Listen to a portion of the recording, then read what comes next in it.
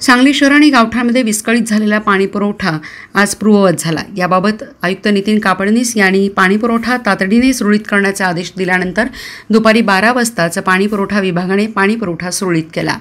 हिराभाग पाण्याच्या टाकीला पाणीपुरवठा करणारी एकशे सत्तर एच पीची विद्युत मोटर नादुरुस्त झाल्याने सांगली शहरातील मुख्य भाग तसेच गावठाणमध्ये पाणीपुरवठा खंडित झाला होता.